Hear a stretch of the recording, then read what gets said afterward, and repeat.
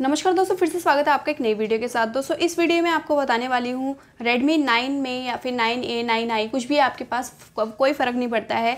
इस वीडियो में आपको बताने वाली हूँ कि आप यहाँ पे क्लियर स्पीकर कैसे कर सकते हैं। तो क्लियर स्पीकर आपके यहाँ पे अगर स्पीकर में प्रॉब्लम आ रही है, आपका साउंड क्लियर नहीं आ रहा है और धूल मिट्टी वगैरह जम गई है जिससे आपका साउंड में प्रॉब्लम आ रहा है, धीमी हो गई आवाज़ तो यहाँ पे आप अपना स्पीकर जो है क्लियर कैसे कर सकते हैं? सिर्फ़ एक क्लिक में।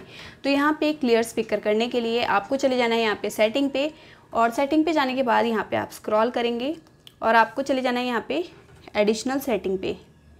एडिशनल सेटिंग पे जाने के बाद आप ऐसे स्क्रॉल करेंगे, और यहाँ पे आपको चले जाना है ये रहा क्लियर स्पीकर आप इस पर क्लिक करेंगे। और इसे आप यहाँ से ऑन करेंगे तो 30 सेकंड का एक प्ले होगा ऑडियो यहाँ पे आप देख सकते हैं, इस टाइप से। गॉटेड कर देंगे। तो ये 30 सेकंड तक बीप बजती है तो ये अंदर स्पीकर जो है, उसका बूम करता है। तो आपकी जो भी धूल मिट्टी वगैरह जम रही होती है, वो सारी निकल जाएगी।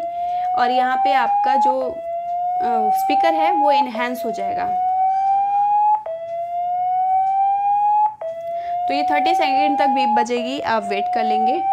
तो इस टाइप से आप यहाँ पे अपना स्पीकर जो है क्लियर कर सकते हैं और जो भी थोड़ी बहुत डस्ट वगैरह होती है, जैसे कि आप यहाँ पे देख सकते हैं, यहाँ पे लिखा हुआ भी है, बहुत ही लाइट डस्ट होते हैं और ब्लॉक कर देता है आपका स्पीकर तो वो आपका क्लियर हो जाता है। तो इस टाइप से आप यहाँ पे हर दूसरे तीसरे दिन भी कर सकते हैं स्पीकर क्लियर तो आई होप गाइज़ ये वीडियो आपको ज़रूर पसंद आया होगा। इसी टाइप की और इंटरेस्टिंग वीडियोस देखने के लिए चैनल पर विज़िट करते रहिएगा। चलिए मिलते हैं आपको एक नेक्स्ट वीडियो में। तब तक के लिए नमस्कार।